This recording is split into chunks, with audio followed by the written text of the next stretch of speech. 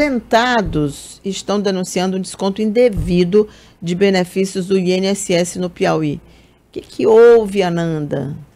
É, Cíntia, muitos aposentados recorreram ao Instituto Nacional de Seguro Social para denunciar que estão sofrendo descontos indevidos em seus benefícios. E esses aposentados, a maioria dessas denúncias foram registradas por pessoas que residem em Teresina. Os beneficiários é, comunicaram que o desfalque no auxílio não foi informado anteriormente, ou seja, isso pegou essas pessoas de surpresa.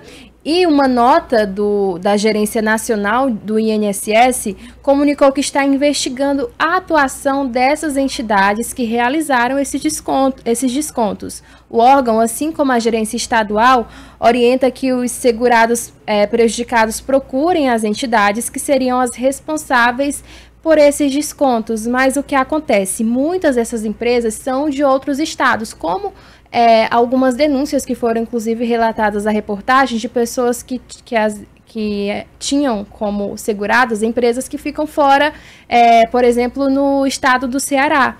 E o gerente executivo do INSS aqui do Piauí comunicou que o órgão possui, como possui contrato com essas entidades, é, essas pessoas devem então procurar é, o aplicativo Meu INSS ou discar o 135 para solicitar o cancelamento desse desconto. Outra coisa que foi feita é, foi que o Instituto bloqueou por 180 dias os descontos de mensalidades associativas. A partir de maio, todo desconto que foi efetivado deverá ser autorizado através de uma biometria facial no meu INSS.